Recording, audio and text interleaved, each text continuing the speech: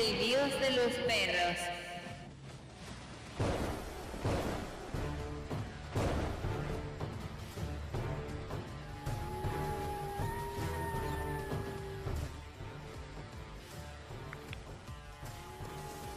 Suscríbete y deja tu like. Saludos amigos, bienvenidos a su canal, El Dios de los Perros.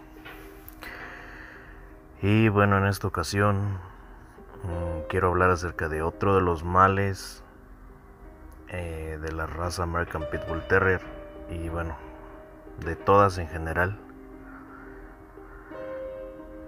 Los vendeperros. Ujú. Eh, muchos de ustedes quizá no entiendan el concepto de lo que es un vendeperros. Un vendeperros es aquel que lejos de importarle la raza, le importa el dinero. Tiene por prioridad el dinero. Entonces, un vendeperros eh, nunca va a hacer eh, buen trabajo, buena selección. No va a tener animales de calidad porque él simple y sencillamente está movido por el dinero. Como les digo, esto es un mal de todas las razas y pues desafortunadamente en el American Pitbull Terrier no es la excepción. Hay mucha gente que a veces hace cruzas sin, sin tener la menor idea de lo que, de lo que está haciendo. Y muchas veces este tipo de, de gente mm, creen que tienen lo mejor de lo mejor, pero su criterio es muy básico. O a veces ni siquiera lo creen, a veces se lo inventan con tal de, de vender esos perros. Hay muchísima gente así. Entonces es importante de que ustedes antes de adquirir un cachorro, sea de la raza que sea, realmente se pregunten, ¿realmente lo estoy comprando a una persona seria? Y que ustedes mismos analicen si, realmente esta persona está comprometida con la raza o está comprometida con el bolsillo. Con esto no quiero decir que todo aquel que venda un perro es un vendeperros, por supuesto que no. Porque hay criadores serios que venden perros. Sí, pero ustedes deben de saber diferenciar lo que es el criador y lo que es el vendeperros. El criador es aquel que va a buscar buenos animales, animales de calidad. Y que él cuando haga una cruza, precisamente esa sea su prioridad. Tener animales de calidad, producir animales de calidad. Sin embargo, el vendeperros no tiene esa visión. El vendeperros va y cruza por cruzar y lo que le interesa es producir animales que le dejen dinero. Esa es la diferencia eh, principal entre lo que viene siendo un criador y el vendeperros. El criador busca animales de calidad, mientras que el vendeperros busca una finalidad económica. Entonces, yo realmente hay muchas cosas que no les puedo ayudar porque a veces me dicen, oye, recomiéndame a alguien, etcétera. Y yo les hablé en un video acerca de por qué no les puedo recomendar a alguien. Entonces, yo lo más que puedo hacer es tratar de, guiarlos, de instruirlos un poco para que ustedes eviten muchas malas experiencias con este tipo de gente. Porque les he de decir que son personas que no son serias y que muchas veces ni siquiera les importa la salud de los animales.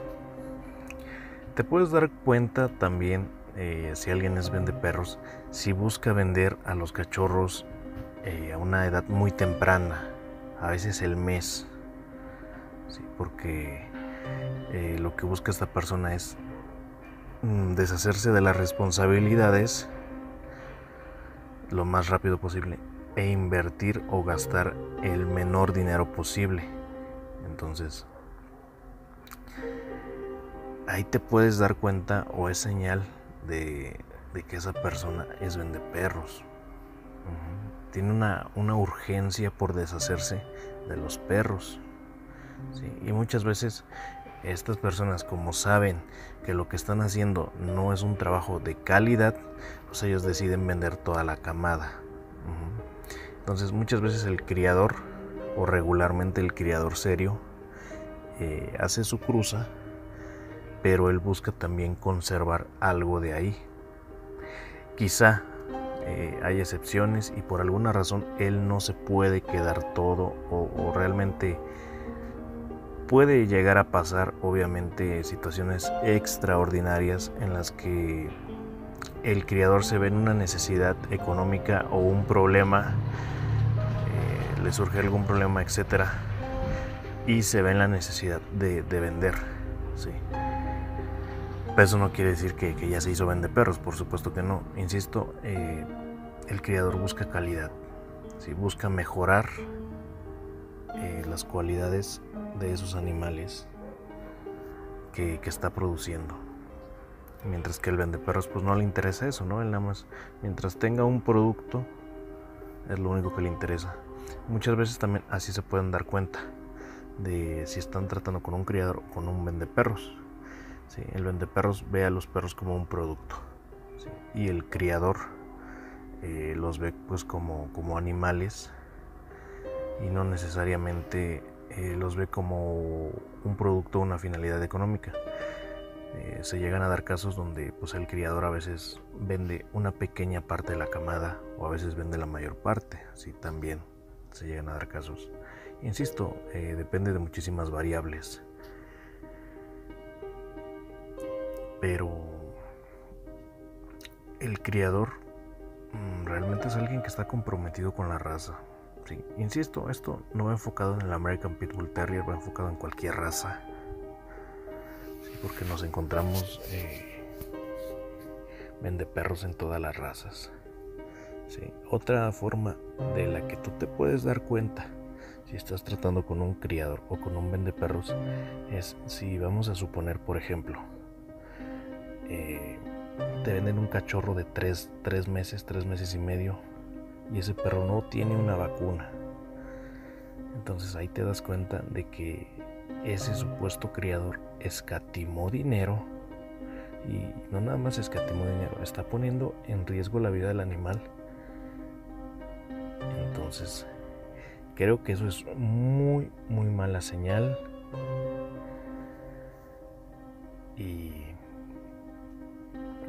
si ustedes ven una situación así muy parecida, eh, yo les recomiendo que, no hagan un trato porque muchas veces les puede salir más caro. Hay veces en las que pues estos vende perros, pseudo criadores, eh, venden a los perros así sin, sin una vacuna, no los venden en las condiciones óptimas y pues a final de cuentas es un problema para el comprador final y ya a veces el comprador se tiene que ver eh, envuelto en pues problemas eh, veterinarios para pues tratar de, salvar su, cachorro, su inversión también. Entonces, mm, si les pasa una situación así, de verdad yo les recomiendo que no hagan un trato con una persona así porque ya hablamos de una irresponsabilidad también. Entonces hay un montón de gente que también hace eso y pues creo que no, no se merecen el título de criadores. Y también el vende perros muchas veces te vende historias. Es decir, el criador puede, puede cruzar dos perros muy buenos que han demostrado algo y el vende perros eh, muchas veces como sus perros, los padres de los cachorros no han demostrado nada, no aportan nada bueno, pues él te vende historias. Si te puede decir, oye, es que este perro lo traje de allá, lo traje de acá y así. Y, proviene de esta familia, esta ramificación genética, etcétera, etcétera.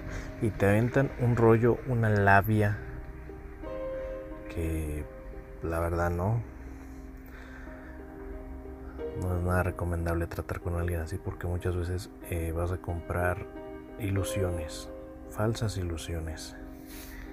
Entonces, no se los recomiendo tampoco. Y bueno, también el criador mm, muchas veces no va a querer vender sus animales. Es otra realidad también. A mí me ha tocado tratar con criadores que muchas veces no quieren vender sus perros. Hay muy pocos, muy pocos, son realmente muy pocos aquellos que que tú les ofreces una cantidad económica y te dicen que no. Entonces son gente que, que le da más prioridad a sus animales que al dinero. Con eso también no quiero decir que,